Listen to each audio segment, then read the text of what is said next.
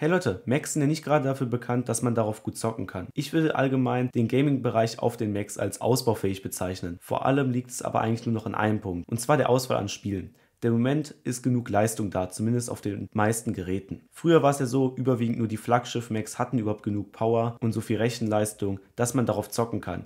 Jetzt hat sich das geändert. Jetzt hat selbst das billigste MacBook, und zwar das MacBook Air, genügend Power, um die meisten Games gut darstellen zu können. Aber wie sieht es jetzt im Moment aus? Ich bin eher der Typ, ich mache die meisten produktiven Sachen auf meinem Mac. Trotzdem habe ich ab und zu mal Lust, auch eine Runde zu zocken darauf und nicht dann zu meinem Windows-PC zu wechseln. Gerade unterwegs ist das sehr geil, wenn man hier auf dem Mac zocken kann. Deswegen möchte ich euch jetzt einmal ein paar Games vorstellen, die ihr wahrscheinlich schon kennt zum Teil, aber vielleicht auch noch nicht wahrgenommen habt, dass es die überhaupt für den Mac verfügbar gibt und dass man die hier flüssig genug drauf spielen kann auf diesem MacBook.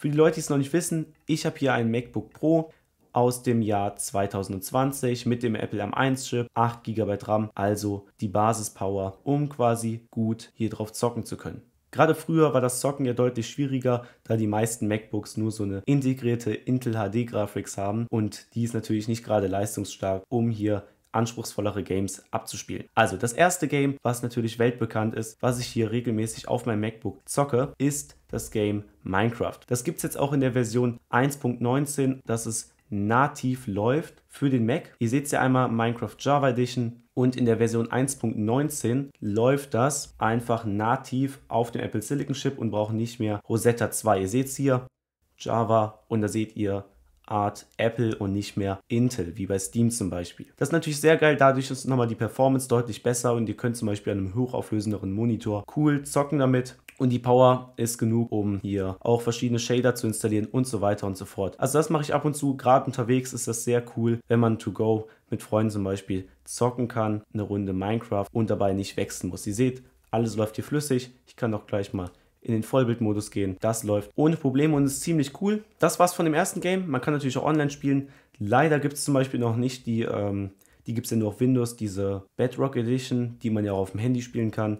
Die gibt es auf Windows, aber hier nicht. Es sei aber zu erwähnen, man kann natürlich jetzt auch neuerdings, was heißt neuerdings natürlich schon seit längerem, auch hier verschiedene Windows-Spiele ausführen. Das ist natürlich aber auch mit Umwegen verbunden und es läuft natürlich nicht nativ, weil das alles simuliert wird. Und obendrein kostet das auch nochmal. Ich habe zwei Programme jetzt getestet, einmal die Crossover-Variante und einmal die Parallels-Variante. Mit beiden kann man gute Spiele zocken, wie zum Beispiel auch GTA 5. Allerdings kosten beide Varianten Geld und das ist eine einfache Variante hier, um auch Spiele zu spielen, ohne dafür Geld zu bezahlen und einfach mal, das soll ja auch nur für zwischendurch sein. Ich sag mal so, der Mac-Markt ist gerade etwas am Umrollen. Gerade auf der WWDC 2022 wurde halt vorgestellt und angekündigt, dass hier mehr kommen soll für den Mac. Gerade was den Gaming-Bereich angeht, weil ja jetzt viele Macs, beziehungsweise alle Macs, die verkauft werden, genügend Power haben, um da Games abzuspielen. Kommen wir zum nächsten Game. Das nächste Game, was ich habe, ist CSGO. Das ist natürlich auch ein sehr weltbekanntes Spiel und das läuft hier auch einwandfrei drauf, dass man das einwandfrei zocken kann. Ihr seht es hier, CSGO, also Counter-Strike, läuft einwandfrei. Man kann das mit genug FPS spielen und sogar auch an einen externen Monitor anschließen, um das halt mit 120 FPS oder mehr zu spielen. Doch, das waren jetzt zwei Spiele, die konnte man auch auf den meisten alten Macs spielen. Ich will jetzt hier aber auch nochmal speziell darauf eingehen, wie es denn jetzt aussieht, die Situation bei den neuen M1 Macs. Da kann ich ein Spiel richtig gut empfehlen, das habe ich leider schon auf Windows durchgezockt und zwar, das finden wir hier und zwar heißt das Spiel Tomb Raider. Und zwar Shadow of the Tomb Raider. Das ist ein ziemlich gut aussehendes Spiel. Es ist zwar schon von 2018, aber ich würde das jetzt auch nicht als so alt bezeichnen. Und die Grafik ist, finde ich, sehr, sehr gut. Also hier kommt der M1 auch schon ins Struggeln. Und zwar habe ich ähm, Test gesehen, dass es so mit Roundabout bei mittleren bis hohen Einstellungen nur mit 30 FPS läuft, aber trotzdem ist das völlig spielbar. Also dieses Spiel Shadow of the Tomb Raider kann ich auch allen Leuten ans Herz legen. Hat natürlich auch seine Größe, also man muss dann gucken, dass man auch genug Speicherplatz auf dem Mac hat.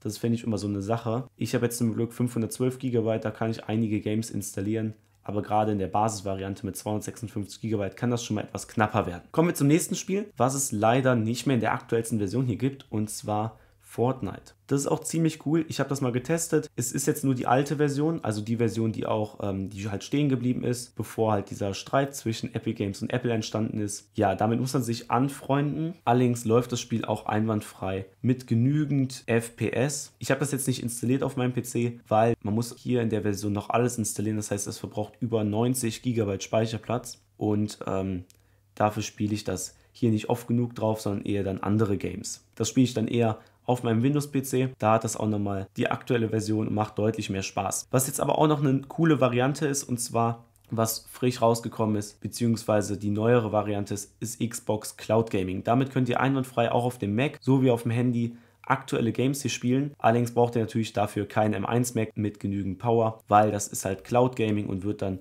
auf der Cloud alles gerendert. Dafür braucht ihr eigentlich nur eine gute Internetverbindung und dann läuft das hier auch. Hier kann man nämlich Fortnite in der aktuellsten Version spielen ist sehr flüssig, habe ich auch mal getestet. Das würde ich dann euch eher raten, anstatt dass ihr hier euch Fortnite herunterladet für den Mac. Generell finde ich sehr schade, ich kann die Entwickler aber auch verstehen, dass es nicht so viele Games gibt ähm, für den Mac, weil halt ähm, der Markt nicht so groß ist. Also die meisten Leute, die einen Mac haben, kaufen den halt nicht, um damit zu zocken, sondern eher, um damit halt ähm, produktive Sachen anzustellen. Wenn dann eher sind zwischendurch Games wie Minecraft oder CSGO, die man dann mal spielt. So, ich habe allerdings noch ein paar andere Games auf Lager und zwar dafür müssen wir nochmal in den App Store. Gibt es von Shadow of the Tomb Raider noch einen, zweiten Teil, den kann ich euch auch noch ans Herz legen. Und zwar, seht ihr es hier, haben die auch noch zum einen äh, Life is Strange das Spiel rausgebracht. Das ist auch schon was älter. Genauso wie Half-Life, das könnt ihr euch auch bei Steam runterladen. Dirt 4 könnt ihr noch spielen und das etwas ältere Rise of the Tomb Raider.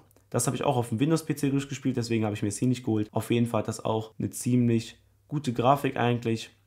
Und gerade für zwischendurch ist das auch eher mal dann ein schöneres Spiel. Das waren jetzt so überwiegend meine Spiele, die ich euch ans Herz legen kann. Also, wenn ihr nochmal mehr wollt, dann würde ich euch eher raten, Parallels euch zu holen oder halt Crossplay. Dazu habe ich auch zwei Videos gemacht, wie ihr das installieren könnt. Dann könnt ihr nämlich auch die meisten Windows-Spiele auf eurem M1 Mac installieren. Ansonsten bin ich sehr gespannt, was die Zukunft bringt, was man dann in Zukunft auf diesen M1 Max und M2 Max und M3 Max für Spiele alle zocken kann weil das wäre ziemlich cool, wenn ich hier auf meinem MacBook, weil es ja auch zehnmal portabler ist als so ein klobiger Gaming-PC oder so ein Gaming-Laptop, wenn ich darauf coole Games zocken könnte. Dasselbe gilt, finde ich, auch für den iPad-Markt. Gerade mit dem iPad mit dem 1-Chip könnte man so viele coole Games drauf laufen lassen. Allerdings ist es halt nicht erwünscht und wird nicht krass supported. Das war's jetzt von dem Video.